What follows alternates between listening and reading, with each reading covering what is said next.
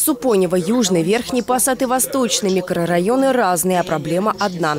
Хостелы и съемные квартиры, которые населяют мигранты. Гости из ближнего зарубежья чувствуют себя как дома. Места общего пользования не берегут.